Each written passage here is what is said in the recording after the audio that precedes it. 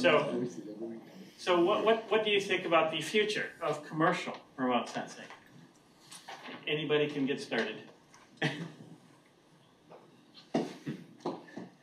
Uh, well, there's a, there's a, uh, a couple of programs going on now to, one at NASA and one at NOAA, that I know of anyway, to try to support and um, grow the, um, the remote sensing, uh, both hardware development and data product development, these data buy programs that they're doing.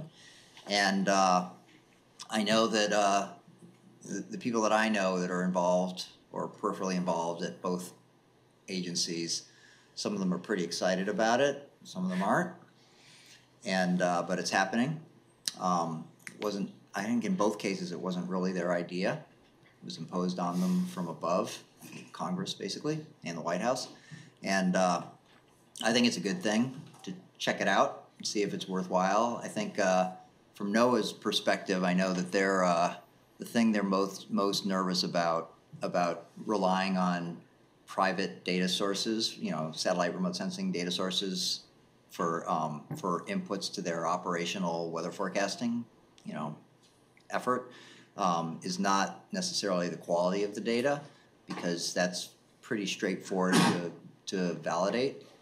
Um, and there's evidence that you know, you can do even some of these CubeSat things that have been developed here, you know, or presented here today. There's plenty of evidence that you can do a nice, careful job of calibrating radiances and scattering cross sections and things with uh, private industry and with smaller satellites that are cheaper and has more of a whatever profit margin for you know a reasonable business model. But um, the thing they're worried about more than that is reliability um, they need to have that data there every three hours as inputs to their assimilation models to generate those forecasts. And, you know, the whole country is relying on them. That's their charter. And uh, um, that's the part of it I know that they're most concerned about and is the focus of the current data buy evaluation process is to see if they can reliably deliver that data day after day, month after month, and that the calibration stability is, that the calibration is stable and consistent over that time, because that's sort of essential for the stuff to be valuable for forecast models. And uh, I think uh, just in general, that sort of thing is not as amenable to that sort of operating mode isn't as natural for private industry as uh, as coming up with a new model for next year so that you can make more money because people want to buy something newer, that sort of thing, as opposed to doing something that's sort of exciting for a while but then gets kind of boring when it's like got to be really reliably produced. But you know, if that's what the customer wants, hopefully that's what they'll do. I think it's really an early stage right now whether this whole thing's gonna how this whole thing's gonna play out. Okay, anybody else? Well, I would think one of the main concerns would be continuity. If they decide it's no longer in our business model, you can lose a key product. You have to rely upon another vendor to pick it up, so I think that would also be a concern. But there are counterexamples where uh, contractors have provided long-term services to the government and have maintained that. But, you know, if you were, if you, like you said, if you're leaning on that capability for some critical forecasting capability, that company could decide, well, it's no longer in our business interest, so we're not gonna give it to you anymore. And that could create a big gap, whereas you would have much more leverage if it's within the federal agency. Yeah, yeah, I think, you know, one sort of typical way to deal with that, if you're the, you know, on the the buying, buyer side, is to have multiple sources. And that's exactly what they're doing now for each one of these critical data products that they're serious about. I think, I know the one at the top of the list right now with, with NOAA to, to seriously consider buying, buying, um, data products for their forecast models is, uh, radio occultation, atmospheric profiles and bending angles. That's um, the one that they've, they're doing that now and doing performance evaluations and so on, and they're doing it with more than one company. So are they tending to get the least processed version of the data, or, or do they want the company to process it all the way and just get the end result, or something in between? Yeah, so I think the preference from the government side is to get the process data with very detailed documentation about how they got there from the raw data. And the preference from the industry side is to provide the process data without that, because it's, because a lot of it's proprietary, Yeah. and that's sort of where things are at right now. So where do you think it'll go? No, I- it's really just, it's really just getting going, and there's very strong opinions on both sides of the, at, at, at the agencies right now. And, and, um, you know, Congress, uh, there's really strong differences of opinion about it. So, it's an exciting time. What about customers, I mean, not government as a customer, but looking at developing a value-added product for, you know, exploration industries or something like that? Mhm. I think, I, I agree with what's been said, I'm skeptical about how reliable it will be for a, you know, an infrastructure, safety of life product, driving weather models, but, you know, I think some of these private companies, if they can develop some specialized value-added products that address a certain market, that, that probably is, is more viable. Yeah, I think there are some good examples of that. For example, futures markets. Mm, Uh, Yeah, right. There, there are companies that feed Right. that need. Based on as load sensing. Yeah, Right. And the sort of actuar- actuarial part of insurance companies also need that sort of information to help them decide what to charge for, you know, flood insurance and things like that. you know, I see, sometimes see people use an example of this commercial data by commercial industry around um, providing imaging. And uh, one pitfall I see of that is using a as a model for other applications like weather forecasting is um, a lot of those imaging products um, don't have the dynamic range in terms of the observable that one would require in, say, a forecast model, ingesting the data, as opposed to an image of a product. So, so those image products work for a lot of commercial data buys, like GeoEye will provide you imagery from their, from their satellite constellation.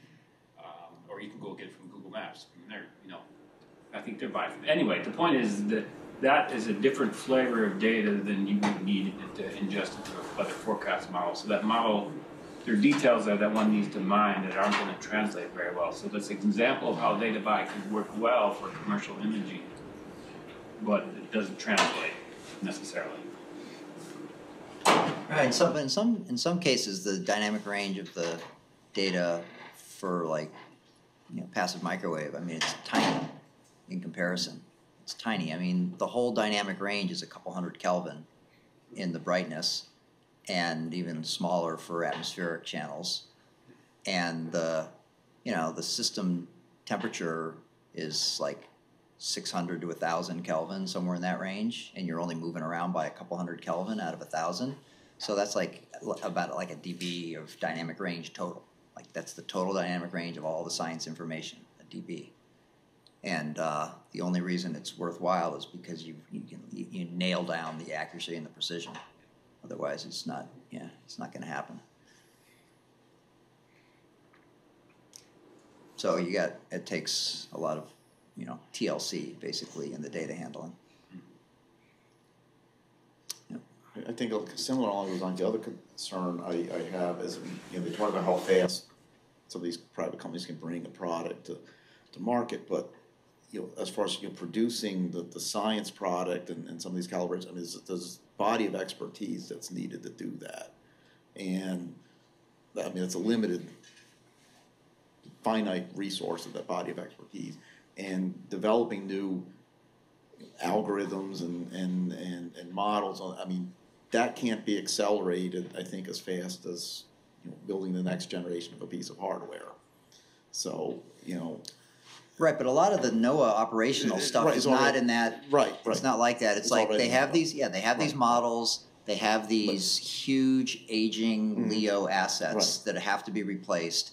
And one option is to send up another Mhm. three or four, you know, eight hundred million dollar satellites. Right. And a different option is to send up a whole bunch of CubeSats if they can deliver. Oh. And, and it's just, it's the same radiances they want. It- But, How about, I mean, if, again, why, why not an intermediate step, why just have a private company can build eight hundred million dollar? That's what happens now. NOAA doesn't build oh, anything. Right, but I mean, can maybe take more of a role building that, but for three hundred million dollars. So, I don't know, I'm just throwing, and say, you know, either, either, you're saying it's either that you or. don't make as or- much money. Right, of course, right, okay, Yeah, it's just the business model's not as good. right, okay, You know, I mean, these CubeSat companies that are doing these private data buy things that are really participating in it, they're not the big aerospace companies, Right, the right. traditional ones. They're these kind of lean, mean, new startups with, uh, you know, just a handful of people that started them up, and the bigger ones have a couple hundred employees, and yeah, it's a totally different perspective.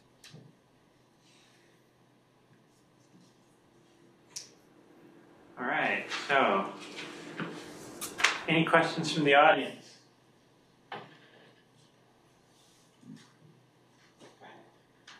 First, thank you all for being here, and to the hosts. This is a bit of a different question.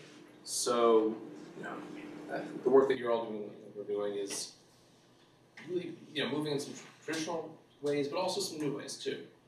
But looking back, say, at, within the US, uh, undergraduate curriculum in disciplines that might feed into graduate programs that then produce the people that can do this work both in academia, but then also in industry, what are the next steps there? What's missing currently in the education space that is needed to help us move to where that next step might be?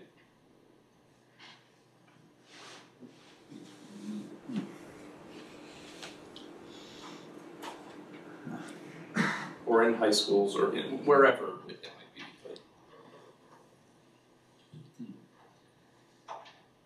I don't you know, so I did this, um, this student project for six or eight years a while ago, um, called Magic Bus, I don't know if you remember that. It's like this thing, it's this website now that you can go to to see when the buses are gonna come and, you know, and time when you go stand out in the cold and that kind of thing. So that was, uh, that was invented by these, this student team over the course of uh, a number of years, that, that was like the- directing the project. And after about the third year, once we start, once we went online and the buses started, you know, we had these, this online thing that you could, and this app that you could go to to see when the bus was gonna come and, and, uh, and it was, you know, pretty popular. Um, so within, yeah, within a year after we went online, I started getting calls from, um, a few different VC groups who wanted to fund startup to, to do it. And, uh, I told the students that were in the group about it, and I figured I, they'd just jump on it. And it took like two years before somebody said yes. These students, you know, just uh, they uh, they all wanted to go work for big companies and have safe jobs, I guess. And uh, it was like two years before it happened, and it was uh, it, the student was uh, uh, Jahan Khanna, this guy. He had grown up in Ann Arbor, went to Pioneer. He was an undergrad here. He was a double E, like a joint double E CS major, and he wanted to be an entrepreneur and run a startup and stuff. And he was, you know, I had a couple hundred students go through this project over the course of time, and none of them wanted to do it. It was, I was really surprised, but you know, and he did. And he and then there was another guy who was, uh, um, he was getting his MBA, and he was on the team to help with a bunch of business model related stuff. And uh, and the two of them started this company, uh, Sidecar, Sidetrack, Sidecar, um, and uh, it was they started it out here and um, were like doing a bunch of online management of traffic stuff for the, the a couple of limousine service services in Detroit, and then they moved out to the Bay Area and uh, got bigger. And right when they moved to the Bay Area was right when Uber started and it's very similar technology, very similar. And uh, you know, Uber won and they lost in the end. But uh, after about a year, Uber bought out a bunch of our intellectual property, and uh, and we had licensed it all originally when they first started the startup. And uh, so it was great. I started I started getting royalty checks like every quarter because we had this stuff licensed, and you know I was one of the co-inventors on it, and from Uber. And that went on for a number of years, and then the company got bought out by Ford. And the guy, John, this you know student who started it, he moved back here from the Bay Area, and he's now like a VP at Ford to help with like autonomous vehicle stuff. And it all grew out of him being, you know, wanting to take a chance on this startup. And uh, so I think, you know, for you know, I think that was a great, that's a great story and there should be more of that stuff. And for whatever reason, the culture with the students wasn't amenable to that for most, for, you know, the first hundred students I asked until Jahan came along. So, you know, maybe the undergraduate program could have more of a entrepreneurial flavor to it. Or you have, you know, you have to take some courses and I don't know if there are courses in this university about startups and how to do them, uh, maybe by, in the business school, maybe? Well, COE Center for Entrepreneurship mm-hmm. is one of their focus. Yeah. The thing that Thomas Zurbuchen started before. Yeah. Oh, yeah, yeah, and they actually They do. somehow get students to wanna take risks with their careers, I mean, that's what it is. There's really no better time, you know, right when you get out of school, you don't have a mortgage yet, you don't have a bunch of kids to worry about sending to college, I mean, there's no better time to start a startup. You can work twenty hours a week, or day, a day, I mean, and, uh, uh, yeah, I mean, there's really, there's really no better time to go for it than, you know, in your twenties. How about it? Students, what do you think? Yeah, Yeah, I was really surprised. It took so Yeah, long for me to find somebody to bite on it, and they just like it. They totally scored. Hmm. I mean, the company, you know, Ford bought them out for like forty million dollars after a few years out in the Bay Area, and they brought him in as VP, and and uh, um, and actually, the bad news for me is like right when Ford bought them out. Um, there was some legal reason I don't know what it is, but that was like the day my royalty check stopped. so something they somehow bought the intellectual property that was routed through that other company, and then Michigan got cut out of the deal somehow. So I don't know what that's all about. But anyway, um, Would everyone else agree with that though, that? It, it's, surpri- it surprised me not a lot of students would be interested in that, because I would have yeah, I had they all I had grew- like three different VC groups the- that started calling me and saying, Right. "We've got come on, get me some students, and we'll do it." And I kept asking them, and they wouldn't. Nobody wanted to go for it. Because these guys all grew up during the dot com era. So, okay, Oh, surprised. I don't know. Yeah, it surprised me too. The, the college is working to, um, explore ways of expanding what they're calling experiential opportunities for undergraduates, of which, uh, the entrepreneurial aspect is just one, one piece of it all. Yeah. Um, so there, there's definitely a thrust in that direction, to, to want to go there, whether they Yeah. can pull it off, depends, you know. Right. And once they said yes, there was a whole bunch of support that came out of the woodwork Mhm. from Yeah. from Lansing. They Mhm. like they had people that would they paid for their rent for this you know this mm-hmm. office space that was like up on Plymouth. They like got them a bunch of mm-hmm. space mm-hmm. and they gave them this support with like people to do their budgets and stuff and just all this state support because it was a startup with VC money. And uh, yeah, they but they had to say yes and like go for it first before that stuff all got triggered. So we are, we are applying for a, for a department, I'm in charge of that is to have a new master engineering program. In the new master engineering program, there are requirement of four credits of entrepreneurship. It's required for the bachelor's degree. Yeah. Required for Master's. master's, Master's new degree? master's, out Okay. twenty-six, yeah. And it's Uh-huh. being, uh, will be approved. And what do you do? Do you like form a little fake company and have to like do the whole thing? I already uh, go to the classes in the Center of Entrepreneurship, four credits minimum. But what do you do? You sit in a lecture room and listen to people talk about taking risks? Yeah, yeah. What do you- what do you do? talk about, about, about patent law and all that kind of stuff, at least four credits, yeah, yeah. Yeah, I mean, it's really, it's a cultural personality thing to be willing to really take a risk with your career, you know? I mean, for something like that. I mean, one, one of the things I was told at, at you know, because I'm in the same geographic areas as, as you guys, is that, um, they're actually, as far as like the, the VC funding and all that in, in the Midwest universities doesn't really exist. I mean, it's all out in Silicon Valley. So even startup companies, you know, out here at Purdue or, I at least as far as when people Depends on the me- kind of money. I mean, they know, like, the pharmaceutical VC people know Right, all right. about Michigan. Right, right. there's a lot of that money that comes in Right. here. And like biosciences and yeah, stuff like yeah, that. yeah, so it depends like on the- the area, yeah. you know, tech um, is so I don't know. At least I mean, at one time I was told that that's that's a problem that some startup companies from from Purdue are having or were having. Yeah. At, when last time I was looked into it, Yeah, but I think if you have a good product, they will come. we hope. Go ahead. Yeah, so, you know, a lot of uh, presentations today talked about various instances and sort of mitigations for RFI. Um, and, you know, recently they just concluded the uh, World Radio Communications um, sort of 2019 deliberations. in Did terms- five G win? Yeah. Yeah, Um, that's what I thought. and you know, access to spectrum is just you know generally more contested and congested, and and I, I, I guess the question I have to ask the panel in, in remote sensing is you, you consider your protected science bands to be protected indefinitely, and do you necessarily think that, um, you know, what is a mitigation strategy going to the future? Do you think all interference can be backed out, or is there, you know, what's the focus that should, should happen if you want to continue doing remote sensing space?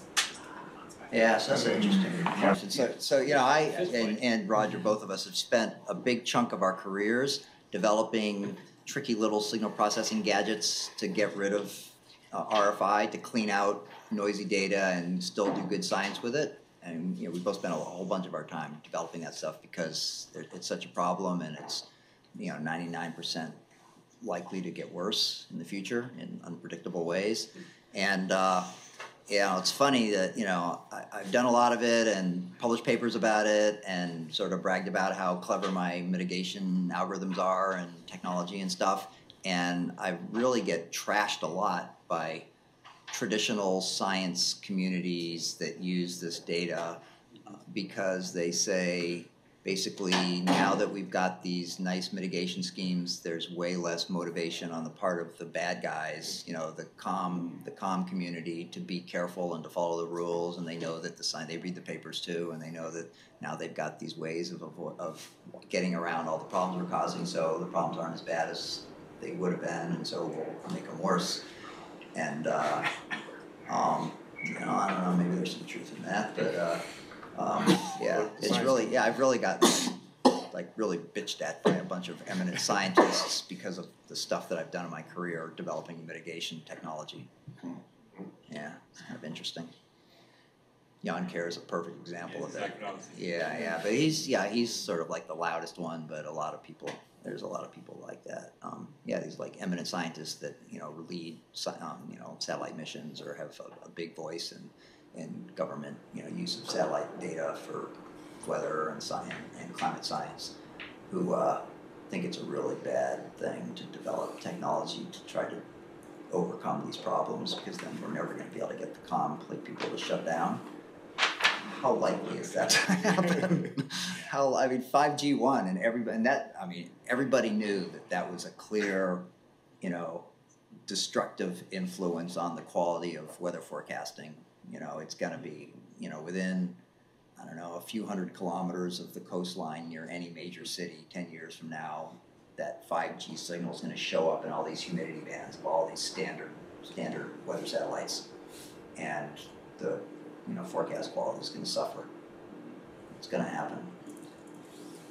And you know, for eight years, I was on the committee on radio frequencies, and I think some other. Yeah, I've been on What a, So, what a thankless committee. I totally think so. Basically, they're, they're, This Yeah, is this this is National something- Academies Committee that tries to slow down the Right. onslaught of co- commercial use of spectrum where people are trying to do science Yeah. and push back, and it's just it, it's so all you can do is slow them down. You can't stop them.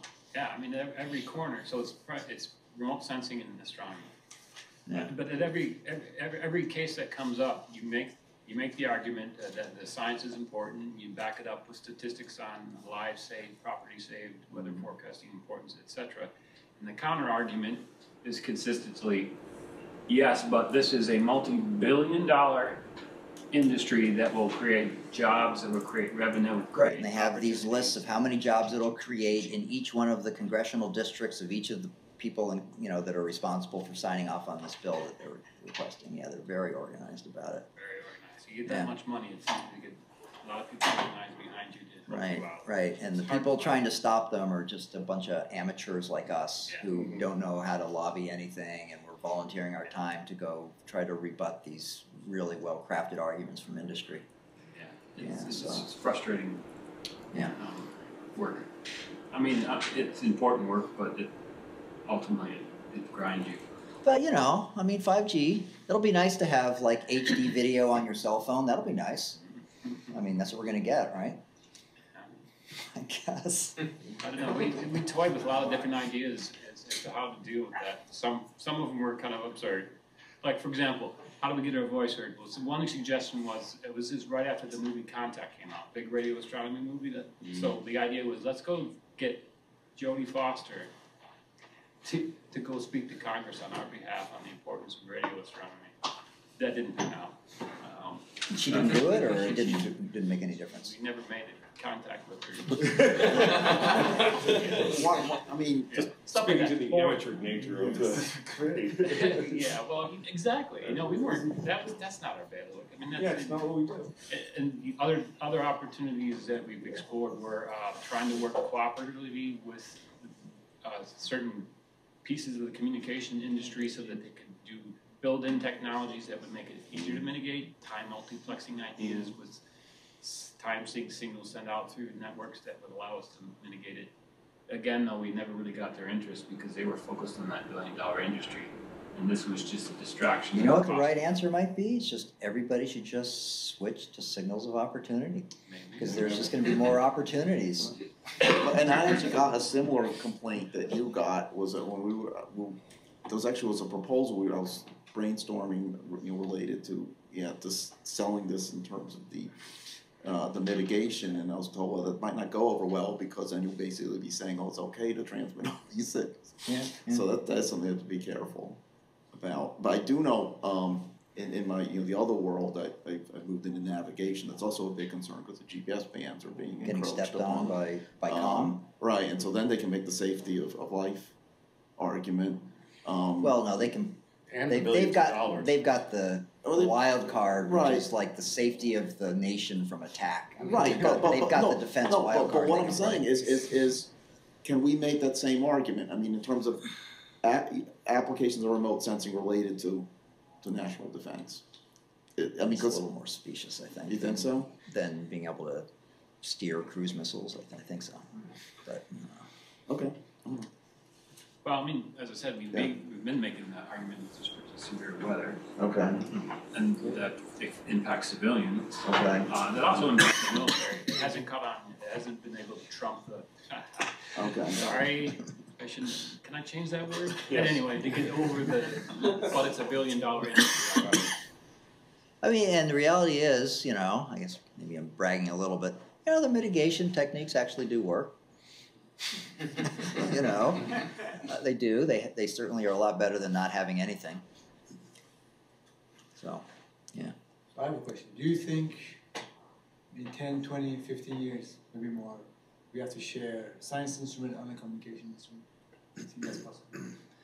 I think, yeah, I think it's very, I think it's very unlikely that won't be the case. And I think that, you know, like right now, just in general, sort of, both sort of philosophically and technically, you know, spectrum management is called spectrum management because the thing you manage is just what frequency you're at and that's it.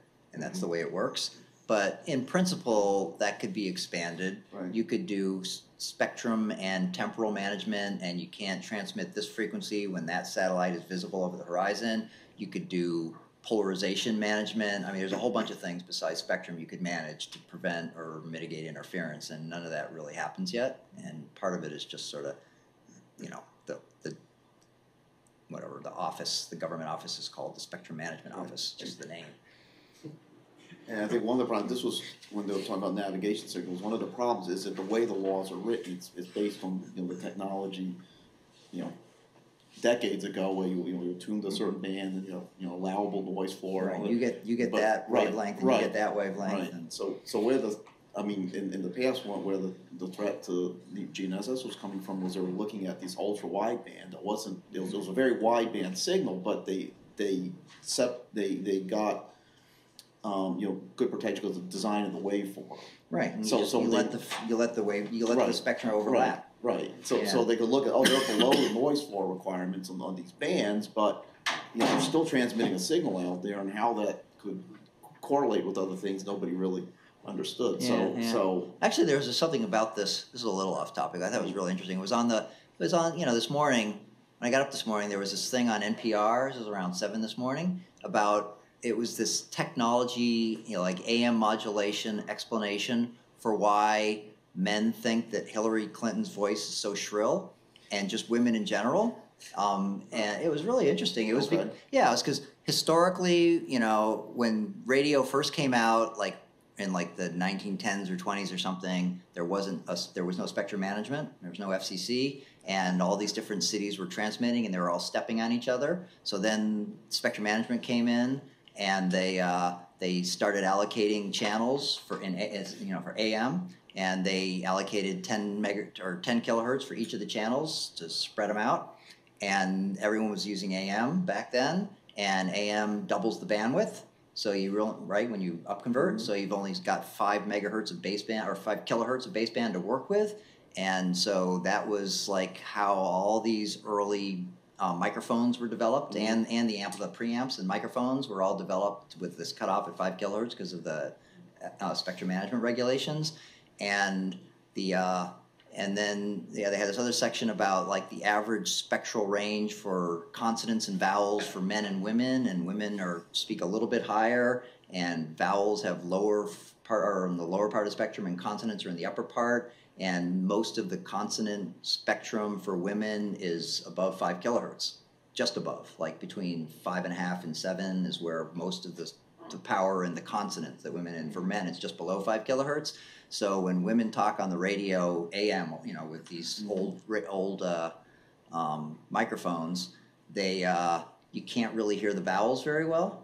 I mean, the consonants very well, and so it makes it harder to harder to understand than an FM, and uh, they tend to speak louder just because they're getting clipped off. Because you know a big chunk of the, you know, the power and their just their whole integrated power spectrum is just above the cutoff, basically. So they just got to raise it up, and so they tend to not as much now, but back then when AM was everything, they tend to just spot, speak um, at a higher volume than their normal speaking voice, which makes you sound more shrill. Yeah, it was really interesting. It was really, it was. Yeah, I was on NPR this morning. Yeah, yeah, it's kind of related. So you know, I mean, if you just opened up the bandwidth with smarter modulation or coding, decoding stuff, and let the spectra overlap with each other, you can pull it back out again. You know, and yeah, I mean, it's not very hard to make a microphone that works above five kilohertz nowadays. So what, we were trained to, to listen to sound based upon, you know, the way the radios were designed? Well, yeah, actually, it was really interesting. It was, it was this long thing that went on, and it also it had this whole thing about the arc of development of the kinds of receivers that went into the early car radios, because that was right in the 20s when they started putting uh, radios in cars, and the technology, you know, they were trying to keep everything as cheap as possible, keep the recurring costs down, and everything was all about that five kilohertz cutoff. And so, yeah, in early car radios, you couldn't really, yeah, you couldn't hear the the consonants of women at all, and that's why there are hardly any female DJs early on because they didn't test well. Just, you know, all this stuff. Maybe that's why Hillary didn't win. Who knows? Who knows? All right, well, I think that was a great discussion. Um, About